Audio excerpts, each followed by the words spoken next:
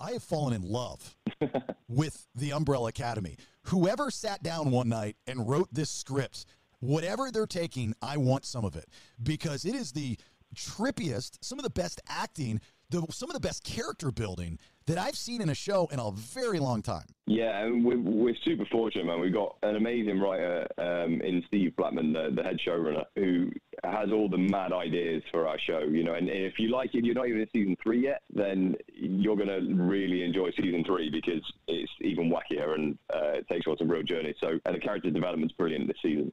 And the thing is, you never know what you're going to get with Umbrella Academy. You know, you, you never know which which turn it's going to take. One thing Steve always talked about is subversion. You know, you kind of take the character, the uh, audience on a journey, and then you subvert all the rules.